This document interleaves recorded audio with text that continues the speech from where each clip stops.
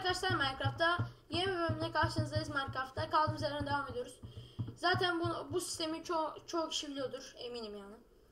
Şimdi bilenler diyecek o sen bunu mu öğretiyorsun bize filan de, de- demeyin arkadaşlar. Biliyorsanız biliyorsunuzdur.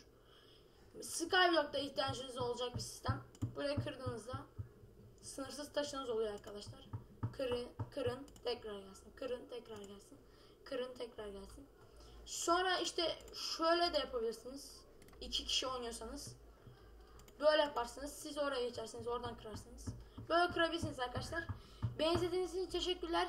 Abone olmayı unutmayın. Takipte kalın. Hoşça kalın.